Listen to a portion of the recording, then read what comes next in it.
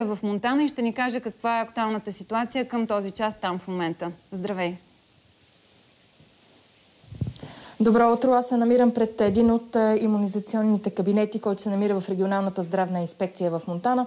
След малко започват, малко по-късно започват да работят тук работа, но въпреки това няма никой желаящи по-рано да дойде да се нареди на опашката.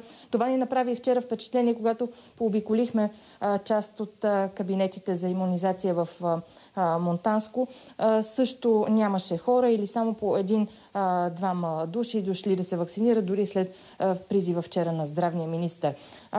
Както знаете, още вчера ви разказахме, болниците в област Монтана се задъхват заради многото пациенти, настанени там с COVID-19. Направихме една кратка обиколка от учителите през хората на улицата и през тези, които чакаха за вакцина, да чуем тяхното мнение за вакцините. Вижте ги. Вече втора седмица в училищата в Монтанско не се чува детски глас, коридорите и класните стаи са празни, а учениците не се знае кога ще се върнат да учат отново присъствено. В първо основно училище в града от 45 учители са вакцинирани само 14. 8 са преболедували, други са съгласни за тестване. Така че нагласта на моите учители е да се върнем присъствено в час в клас. Голям процент от родителите обаче не желаят децата им да бъдат тествани, за да посещават училище. Ами аз си мисля, че това се дължи на недобрата информираност на родителите, на недоброто запознаване с а, вида на тестовете, а, това как те ще повлияят на децата им. Може би, когато се направи една добра информационна кампания, мнението на тези родители ще бъде променено, за да можем да се върнем в клас и да работиме присъствено. А относно вакцинирането, мнението на хората в Монтана е в двете крайности. Вакцинирана ли сте вие? Не. Защо? Не съм. Еми, защото имам различни заболявания, които не, не са подходящи за вакцина. Не ми се ще да си слагам отрови в организма. Вакциниран ли сте вие? Не. Защо? Защото не искам.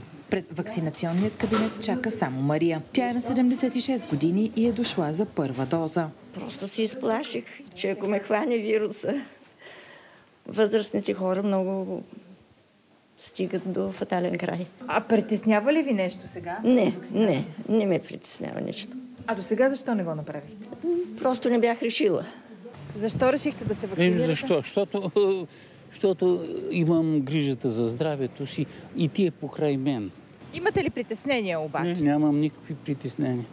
Не съм усетил нищо, всичко е нормално, макар че 2019 изкарах нещо много сериозно, което и лекарите не установиха, но аз съм доволен, всичко е наред. Пие си ракейцата, винцето и се чувствам добре. В област Монтана общо приложените дози са над 32 000, а с завършен вакцинационен курс са над 17 500 души.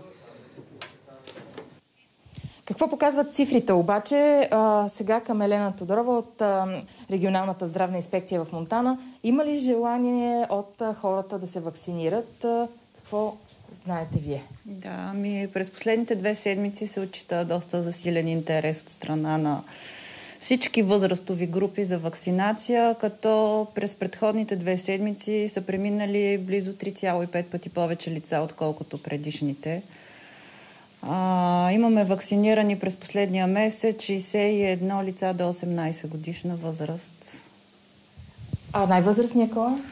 Най-възрастният мъж на 95 години.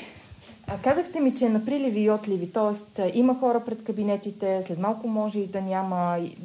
Така ли е? Как се случват нещата? Ами като цяло, да. Даже някой път преди да отворим кабинета има по 5-10 човека. Много е различно. Зависи от деня, от времето също. Къде м, хората въобще? Колко са пунктовете за вакцинация в областта? Ами в областта имаме 5 вакцинационни пункта, като 6 всъщност, извинявайте, като а, личните лекари всички поставят дози. Засилен интерес има от страна на получаване на вакцина от личните лекари. Това също да кажа към момента. Имат ли хората предпочитание и сменя, сменя ли се то сега с, въвеждането на зеления сертификат? Ами да, към момента за последните две седмици предпочитана се оказа еднократната вакцина на Янсен, докато преди това се предпочиташе Pfizer. Имате ли достатъчно вакцини? Да, от всички вакцини разполагаме с достатъчни количества.